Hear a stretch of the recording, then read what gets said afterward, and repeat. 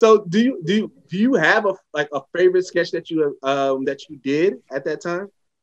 Um, I would never call it one thing my favorite, but they're because they each have their own special memories. But there are some memories that keep coming back to me over and over and over again. Mm-hmm. And that is there was a sketch we did called Syndrome, and it was all about people with these long tongue twister names.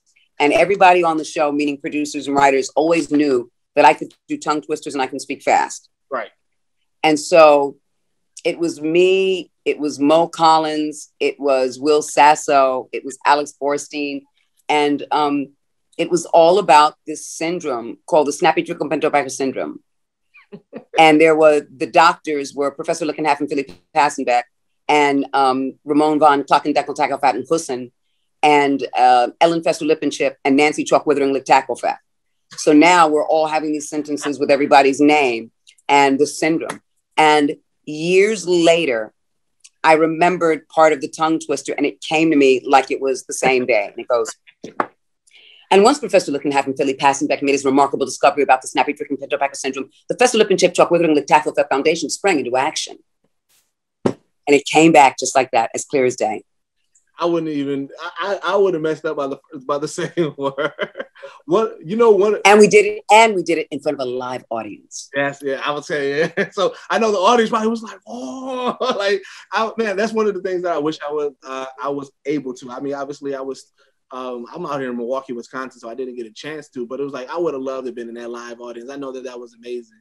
Another one. When you get a chance, look it up, and it just says syndrome for pregnant women or uh, pregnant woman uh, syndrome or uh, um, look it up, and you'll. You, I. It's an amazing sketch, and it was an it was an amazing sketch. Look it up. I will look it up. Another one of yeah. the kind of characters that I used to love all the time was Bunifa because she was hilarious to me. And then just like the ever, uh, anytime there's a character that can continue, like I always love it because then you're like, oh, like because once we see the character, we already know who it is. So it's like, okay, what she's going, what she's going to be doing this time. yeah, and she's a different incarnation from when she came out. She popped out of an improv in New York. So by the time it came to um, L.A. for Mad TV, Bunifa, the inception of Bunifa was already eight to 10 years old. Oh, okay. Completely different, completely different. And so the inception and the creation of Bunifa wasn't me at that point. It was the writers um, going, let's make her ghetto fabulous. And then, um, and kind of bipolar, but let's not call her bipolar. And the, uh, the wardrobe and hair and makeup going, we're gonna make you so ghetto fabulous girl. We're gonna beat you good. We're gonna beat that face. We're gonna we're gonna come up with this wig. And, and so all praises to um, Matthew, Uncle Matthew Caston, and um, Devon Shepard, who is a writer and producer. Okay. Um, and a prolific writer and producer in Hollywood. And um, and to uh, Wendy Benbrook, was the head of wardrobe. Okay and um, Jennifer Aspinall, who was the head of the makeup department, who also came from uh, Saturday Night Live.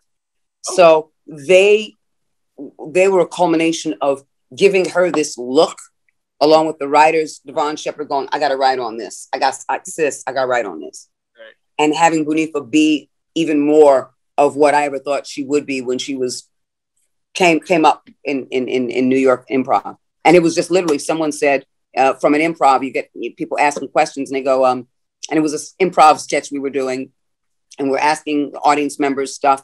And then it was like, anybody want to field questions from the audience? Because it was a, a talk show. Right. So it's like, do you want to ask one of our panelists? And they asked me, and I straight out just said, I don't know where it came from, but it did come from this. And it just went, I went, Bunifa Latifa Halifa Sharifa Jackson. Just like that. Literally just like that.